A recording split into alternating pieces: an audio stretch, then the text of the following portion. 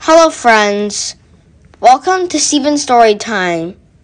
Let's celebrate St. Patrick's Day by reading Elmo's Lucky Day. Why is Elmo dressed in green from head to toe? Elmo is celebrating St. Patrick's Day.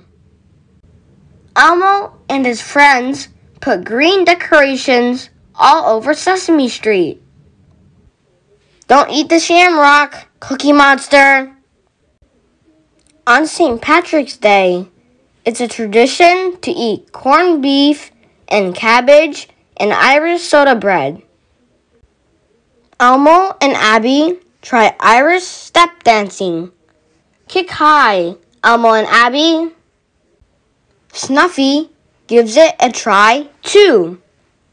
Elmo wants to find a leprechaun. A leprechaun is a magical fairy from Ireland.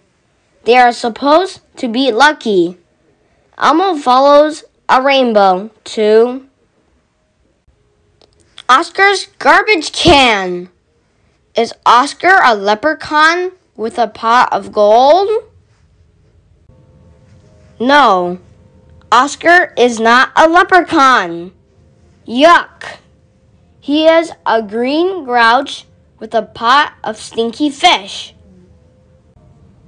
Elmo finds a different kind of treasure. He finds his friends. And guess what? Everyone is wearing something green. They all march in a fun parade together. Elmo feels very lucky. Happy St. Patrick's Day! The end.